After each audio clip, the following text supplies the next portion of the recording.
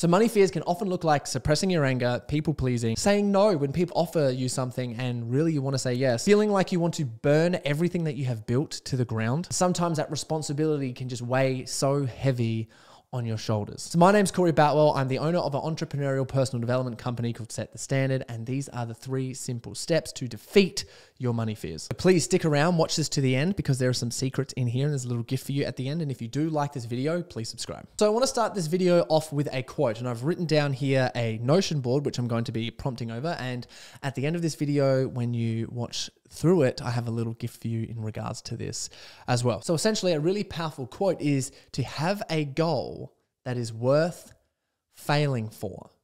So you might be asking your questions like, how's this got to do anything with money? So how you react to one thing is how you react to most things. And money is an energy the same way that your health is energy vibrating your, through your body, the same way that relationships is an energy, the same way that thoughts are an energy, the same way that food converts into energy throughout your body, the same way that there's energy everywhere. And your relationship to money and how money works is obviously going to reflect into your relationship to yourself. And I turn that around the other way. Your relationship to yourself reflects in your relationship to money. And if you want more money and you want to have a healthy relationship with money, you don't want to be afraid of money, these are the tools and techniques which are going to teach you how to do that. First things first is having a goal that's worth failing for. When you find that thing, number one, and we know if you're listening to this and you're a high performing entrepreneur and you've been to the perspective is when you first went out and made a boat ton of money, I bet there was a goal that you would have failed for until, you know, until the cows come home. Absolutely nothing would have stopped you. So when you have a goal that's worth failing for, and, and, and that time it's like, oh, I don't care what I'm spending money on. I don't care what I'm doing this. All that matters to me is achieving this goal, which can provide a healthy relationship to money, but can also reinforce some negative relationships to money, which we're going to get into. So the first thing to understand is that everyone has money stories. And that's usually come from your parents, from society, and from examples and situations that have happened for you growing up. And what that looks like is if you see on society all the time or uh, on advertisements, save money here, save money here. You can save 10% off this, you can save $100 off that, you can save $5 off this. Getting stuck into the mindset of, I must save, I must save, I must save, I must save, can then prevent you from investing in yourself investing into something else, investing into your own personal development, investing into your business, investing into investments in general, because no, no, no, I've got to save everything. When we all know when it comes to money, is you've got to spend money to make money. Sort of like a hose. What comes in must come out on the other end. And what comes out it, with the intention of money coming back in, of course, it's going to come back in. It's how all businesses work. In regards to that, there is also parents put money stories on you. And that could be like come in, for example, don't talk about money shush, shush, shush, don't talk about money. Oh, you can't spend that. You can't buy that. Why would you buy this thing? That thing's silly. Even from your friends. Like, oh, why would you buy that one? Why would you? Literally, one of my friends uh, purchased a Lamborghini, and his brother said to him, "Why the fuck do you need a Lamborghini for? You idiot!" Is what he said to one of my friends who bought a Lamborghini, and he just thought that was funny because you know it's his brother. But still understanding that that's a story that his brother has, which has been put on him maybe from his friends or or his parents or something like that, and one of the brothers is really wealthy and one of them isn't as wealthy as the other one. So, you know, that might have come from the scenario of, well, they have different stories about money, which has come. So we all have different stories, and understanding your stories is extremely, extremely important. Some of my personal stories were don't talk about money, were you have to work so hard to make money, and that money is the root of evil.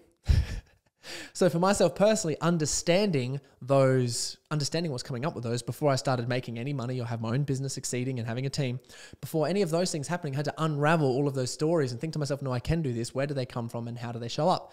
And knowing that when I first started my business journey, being aware of them, firstly, of being like, okay, you've got to ask for money. It's not the root of all evil. Ask for it. You provide an awesome service. People are like, oh yeah, yeah, yeah. Um, the other part of you have to work extremely hard for money is knowing that when money starts working for you, you're not really working hard for money. And you do not have to feel guilty for not working hard for making money. Even though you can work hard and you do work hard for everything you do, myself personally, I work super hard because I love it. But if I didn't want to work hard, I don't have to. And sometimes I don't. Sometimes I go, yeah, well, I'm not going to work hard because I need to rest or do this or whatever it is. And I'm going to work hard next week. I've created that lifestyle for myself. So I can. And not feeling guilty for that is extremely important. So Number one, understanding everyone has money stories. So I would challenge you to ask, what are your money stories? What are yours? And if you're on here and you're actually interested, like write them down. Like, what are, what are your money stories? Like, oh man, where'd they come from? What, what are my beliefs around money? I like this quote here. Uh, and I like you to apply this to your name. So just think about your name for a second, your full name. I'm going to think about my full name. So my full name is Corey Boutwell. I'm going to say a sentence, say my name, and then continue on with the sentence. And I'd like you to repeat this thing out loud to yourself as well. I acted like Corey Boutwell for so long that I became him. I acted like Corey Boutwell for so long that I became him. Even saying that makes me like it just jacks me up with energy in, in the best way possible. And I was like, well, that's that whole idea of the thoughts things first. Understanding your money stories is like, that's not who you are. That's stories that have come from someone else. So when you truly understand who you are and who you want to be, and you create that person, you start acting like them, then you're going to start having what they have. And that comes through deep self awareness and personal development. If you're interested in something like that, we do this in my personal development community, Set the Standard. You can head to the Instagram or click on the links below and, and come and join us and get your mind absolutely blown. So essentially, what we've got here is number two is the difference between a slave mindset and a scarcity mindset. And understanding on the back end of this, I teach a lot of master mindset and I teach a lot of abundance mindset.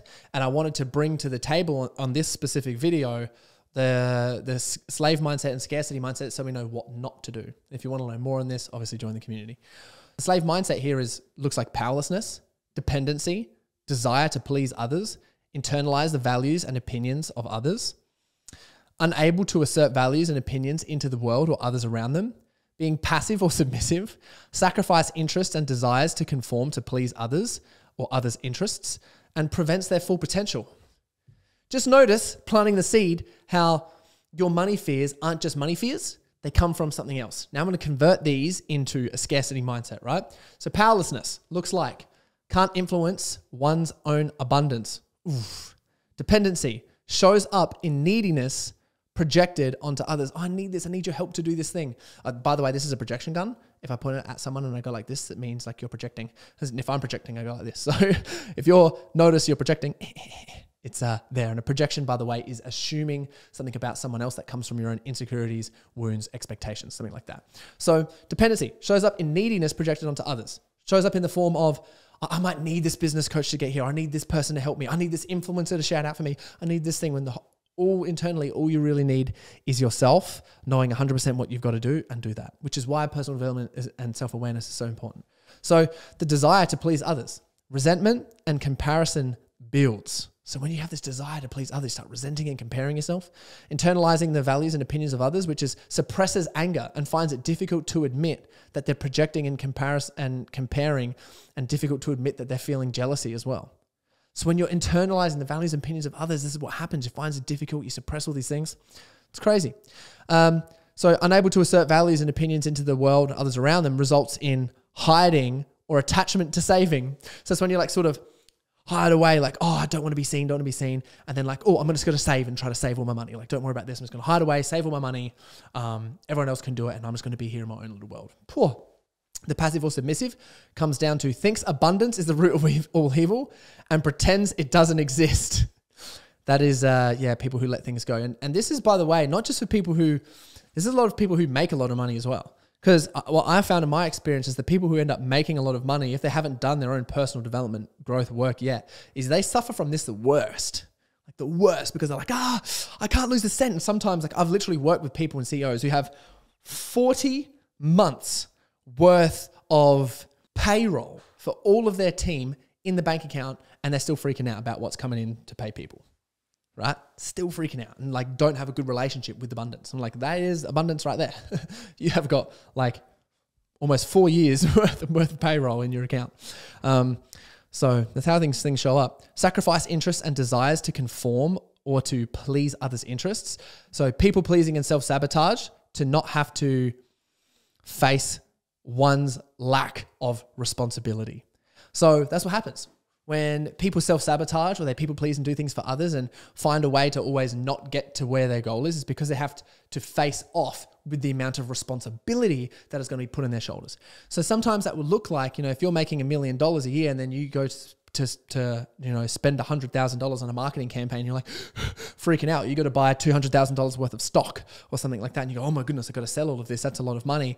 Um, so I'm just going to self sabotage and you know bring the business back down and not let it grow, so I don't have to deal with that amount of responsibility. This also shows up in relationships. This shows up in your health, like everywhere. It's crazy.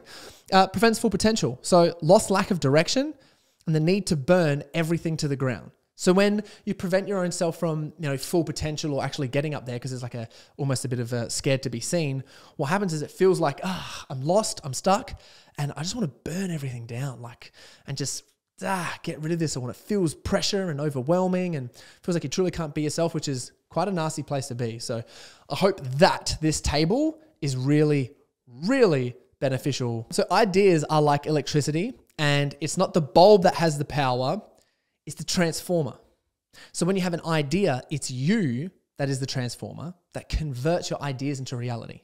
So it's sort of like if someone comes to your house, and let's say you had no idea how light bulbs work, and someone comes in and puts a tiny little light bulb, like a couple watts, and you put it in, it's just this faint little orange light. And you need like a thousand of them to light up your room. You go, holy, like I need a thousand lights here to light up my room.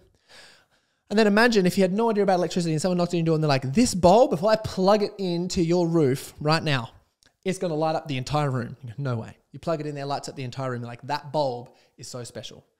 And we all know that the electricity is there the whole time. It's got nothing to do with the bulb. You've just plugged the bulb into the electricity and the transformers converted it into more light energy. Nothing to do with the bulb. Electricity has always been there. The same way that your relationship to complete abundance and moving through the fears of uh, money and the rest of it is there. Like that awesome person who can just be so free is just so there. And what we're doing, hopefully, within this video is understanding that we just want to plug the right light bulb into you, which is, again, what we do in Set the Standard Community. It is awesome. So, the third tip here is avoidance and reaction to money. So, understanding your own avoidance patterns is really an awesome piece of self awareness because when you understand this piece of self awareness and you get it, you don't have to deal with it anymore and you can make the right money decisions without having to feel ick, anxious, yucky, and like, oh, I can't do this and having any limiting beliefs around it. So, what it is, is just understanding that you have money in, money out, and money hold. Right? this is taught, like my accountant teaches this, a lot of other people teach this. And you either have a money in problem, money out problem, or a money hold problem. And everyone does at some point. A money in problem would be you not feeling good enough to go and go out and get as much money in as possible. Oh, I need to go and make more money in. Or for some reason, I just can't go and get money in. Like, why is this thing? So that's a money in problem, right? Number two problem is a money out problem. So not being in a position where you, oh, or a money out problem is when your money's coming out too much, right? There's too much money out. You haven't got the systems, the accounting, the the accountability, the structure, the processes, different cards or whatever it is, so that you can set up your bank account and spending in a way that prevents that can prevent you from spending too much. And then money hold problem is being in a position where you don't spend any money.